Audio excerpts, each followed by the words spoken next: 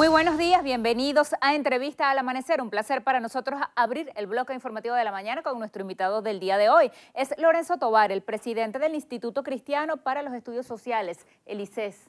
Así, efectivamente. Bienvenido, gracias por estar con nosotros. Gracias, buenos días. Mira, yo quería pedirte que me dieras unos segunditos, un momentico, porque de verdad antes de comenzar a hablar de los temas generales del país, quería hacer una oración, una breve oración de verdad por, por los pobres, por, eh, por los presos, por la gente desposeída, el hambre, la miseria que hay en el país, las necesidades que hay en el país. Creo que el elemento espiritual debemos de alguna forma incorporarlo al debate. solamente son unos segundos ¿no? que quiero pedirte. Señor Padre Celestial, Señor, queremos darte las gracias primero que todo por la oportunidad que nos da, que nos da de estar aquí y pedirte, Señor, por nuestro país, por nuestra nación, pedirte, Señor, por los que necesitan, por los pobres, por los que no tienen alimento, por los que padecen el sufrimiento permanentemente, por los que están presos, Señor. Nosotros también estamos presos con ellos, Señor, por eso ratificamos, Señor, nuestras oraciones hacia todos ellos y pedirte también por las necesidades que hay en el país en términos general, para que tú produzcas los cambios necesarios en el país en el nombre poderoso de Jesucristo. Amén, amén. Así sea. Vamos a entrar ahora sí en materia. Recientemente el vicepresidente de la República, Targuel Esami, denunció un nuevo presunto plan de sabotaje en el que estarían involucradas personas de la oposición. ¿Qué opinión le merece? Bueno, simplemente esto es prácticamente el léxico del gobierno. El gobierno siempre anda buscando un responsable, anda apuntando hacia sectores adversos, sectores que piensan distintos, para buscar la forma de eh, emprender una forma de practicar el terrorismo, una amenaza permanente y constante que no está bien fundamentada, porque apunta siempre hacia las organizaciones políticas, busca, busca con el dedo tocar a algunos, algunos individuos y tratar de hacer responsable de eso a los sectores de la oposición. Tenemos que acostumbrarnos a que este gobierno siempre va a apuntar hacia quienes pensamos distinto a él y que cada uno de nosotros en cualquier momento vamos a ser víctimas del poder que el gobierno manifiesta, que el gobierno emprende en contra de quienes piensan distinto. ¿Qué implicaciones traería justamente hasta el 15 de octubre, por coincidencia la fecha de los comicios regionales, es el lapso para presentar la ley de presupuesto nacional? El presidente Maduro ya dijo que la va a llevar a la Asamblea Nacional Constituyente y no al Parlamento. Bueno, sí, el presidente Maduro va a insistir simplemente en darle fortaleza a la Asamblea Nacional Constituyente, es su instrumento, todos sabemos la forma fraudulenta en la cual fue, fue electa. Él va a tratar de, fundamentar, de sustituir la voluntad del pueblo a, través de lo que representa la Asamblea Nacional eh, con la Asamblea Nacional Constituyente. Esto no, no nos debe sorprender. El gobierno va a tratar de hacer de la Asamblea Constituyente su instrumento ideal para perpetuarse en el poder y para imponer cualquier tipo de acción, de fechoría que los consolide a ellos en el gobierno. Así que este, habrá ese presupuesto de una forma irrita, de una forma ilegal. Ellos continuarán en su avance por consolidar la Asamblea Nacional Constituyente y nosotros tenemos que hacer un esfuerzo por lograr los cambios en el país. Pasando justamente a las elecciones regionales, 5 de octubre el lapso justo de 10 días máximos anteriores que prevé la Ley Orgánica de Procesos Electorales para la sustitución de candidaturas. Si el Consejo Nacional Electoral definitivamente no abre el proceso automatizado de postulaciones, ¿qué va a ocurrir el día de los comicios cuando el elector esté frente a la máquina y quizá encuentre tarjetas y rostros de personas que ya no son candidatos, que manifestaron su voluntad de declinar en favor de los que vencieron en primaria? Sí, yo creo que la MUC ya se ha adelantado a estos acontecimientos, ya la MUC ha convocado y comienza a convocar y hay toda una, una iniciativa dirigida a votar simplemente por las tarjetas en las cuales aparecen los candidatos a, la gobernación. Creo que eso no, mm, estamos tratando de que no genere mucha confusión, eh, buscar de que la gente entienda que estamos enfrentados a un gobierno que va a seguir utilizando todas las instituciones y los instrumentos que tiene en favor para lograr pues ganar las elecciones o imponer en los procesos electorales. Entonces yo creo que esta es una triquiñuela más, un obstáculo más que debemos con inteligencia y con sabiduría superarlo. ¿Cómo? Llamar a la gente a votar por las tarjetas donde aparecen la imagen de los candidatos. ¿Cómo ve usted justamente la participación? ¿Cómo prevé que sea?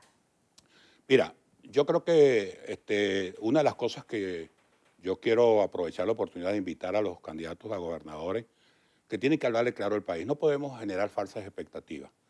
No podemos seguir en una campaña ofreciéndole a la gente que vamos a resolver el problema de los alimentos, que vamos a resolver el problema de las infraestructuras, que vamos a resolver el problema de los medicamentos. Eso es, eso es mentira, eso no lo podemos ofrecer. Eso es lo que va a generar mayor desconfianza, mayor frustración y decepción sobre el colectivo. A la gente hay que decirle la verdad. A la gente hay que invocar un poco a aquel eh, célebre discurso del presidente Winston Churchill, eh, primer ministro de Gran Bretaña, cuando dijo allá en 1840, creo que fue un 13 de mayo, donde convocó al país y para que el país entendiera y se identificara con lo que venía, habló de sangre, esfuerzo, lágrimas y sudor. O sea, el país tiene que enrumbar. Yo incorporaría dos frases más, que sería fe y sabiduría. Necesitamos más que fuerza, porque la, fe, la fuerza no la da la fe, sabiduría para generar los cambios en el país. La fuerza tú la pides cuando para resistir. El problema no es resistir, el problema es cambiar el país y tenemos que apuntar hacia allá, a producir los cambios necesarios. Y para eso necesitamos sabiduría, necesitamos recurrir a Dios. Dios tiene que jugar un papel preponderante en cualquier acción política que hay. Hay una crisis económica, social y política en general, pero hay una crisis espiritual.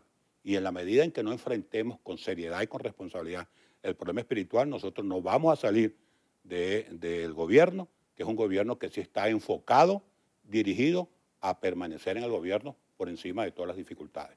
¿Qué discute el Instituto Cristiano para los Estudios Sociales? ¿Qué recoge de los estudios de campo que hace y sobre todo qué propone? Nosotros fundamentalmente trabajamos en los sectores populares, eh, donde hay mayor padecimiento, mayor necesidad, mayor frustración y mayor decepción.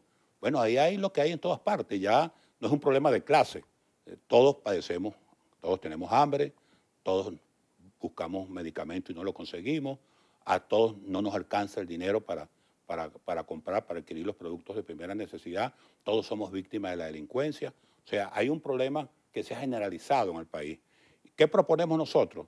Bueno, nosotros creemos que la crisis en el país, para solucionar y superar la crisis en el país, tenemos que comenzar por el individuo. El problema no es cambiar un gobernador, un presidente por otro presidente. El problema es promover iniciativas dirigidas a producir cambios en el ser humano. Tenemos que buscar, si tenemos mejores ciudadanos, mejores venezolanos, yo creo que vamos a tener una mejor Venezuela. Y el Instituto Cristiano apunta hacia allá, a producir toda iniciativa dirigida a crear definitivamente los cambios que requiere y que necesita el país. Un minuto final. ¿Cuál es el papel que deben jugar las iglesias, o quizá no tanto las iglesias, sino los dirigentes religiosos? ¿Qué pueden hacer musulmanes, judíos, cristianos evangélicos, cristianos católicos en la coyuntura actual? Sí, yo creo que hay que convocar a los hombres de buena voluntad, fundamentalmente a los justos, porque es un momento de los justos. Yo creo que, eh, las iglesias tienen que tener un papel protagónico en este momento. Históricamente, cuando vemos las crisis que se han presentado en el mundo, hemos visto que en los peores momentos la iglesia ha tenido un papel preponderante. Yo convoco a las iglesias desde aquí a que asuman su responsabilidad frente al país. La responsabilidad significa este, comenzar desde ya a producir no solamente los cambios en el país, sino a orientar a través de su acción, de su trabajo social, de su trabajo este, eh, espiritual, buscar producir definitivamente un cambio que, garantice mejoras, libertad y democracia para el país. Te, quería aprovechar la oportunidad que hoy se cumplen también seis meses de eh, eh, Roberto Enrique, que es vicepresidente de la democracia cristiana en Latinoamérica y presidente de COPEI electo, cumple seis meses asilado en la Embajada de Chile. Queremos recordarle al país que él está ahí desvinculado de su familia y que con él hay cinco magistrados más que fueron nombrados eh, por, el, por la Asamblea Nacional y hacia ellos pues nuestra solidaridad y nuestro deseo este, de que en cualquier momento, cuando Dios lo permita, podamos de verdad estar en libertad. Gracias por visitarnos. Gracias a ti. Dios te bendiga. Así despedimos esta entrevista al amanecer. Nuestro invitado del día de hoy, Lorenzo Tobar, el presidente del ICES, Instituto Cristiano para los Estudios Sociales. Gracias por acompañarnos. Queda todavía mucho más del bloque informativo de la mañana. A continuación, primer contacto.